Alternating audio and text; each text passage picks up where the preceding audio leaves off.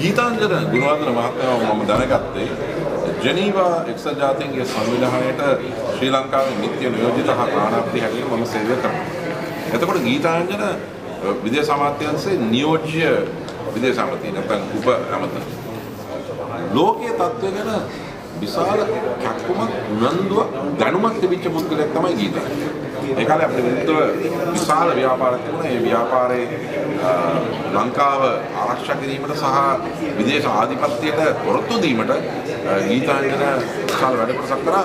මට විශේෂම මතකයි ලතින් ඇමරිකාව සම්බන්ධයෙන් ඔහුගේ තිබිච්ච ඒ නදියාව සහ බොම්බාව. ඒක සුළුපටු දෙයක් නෙමෙයි.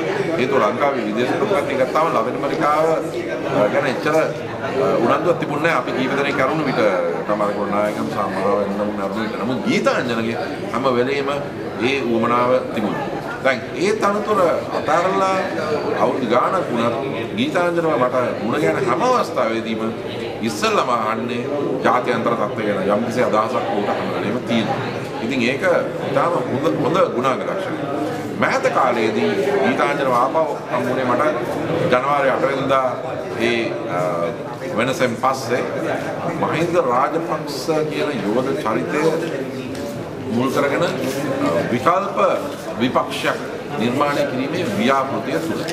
ඒ ව්‍යාපෘතියේදී දිනේශ් ගුණවර්ධන ප්‍රධාන තැනක් ගත්තා. දිනේශ් තමයි අපේ අතවසෙන්ම මහින්ද වෙනුවට ආදේශකයක් හැටියට හිටියේ ජ්‍යෙෂ්ඨ චරිතයක් දිනේශ් වාසු උදය විමා බුද්ධිමය වශයෙන් මතවාදී වශයෙන් මම නම් දායකත්වයක් කරා. ඉතින් ඒක ඊටාම අමාරු කාලයක්. ඒ අමාරු කාලයේදී අපට අවකාශය දීලා රකවරණ දීලා අපට කතා කරන්න පවා තනක් දුන්නේ ගීතාංජන ගුණවර්ධන. ඉතින් ඔහු මේ මහින්ද පුනරාගමනයට තිරේ පිටුපසව සිටිමින් විශාල සේවයක් දායකත්වයක් කරපු පුද්ගලෙක් කියලා මම කියන්න ඕනේ.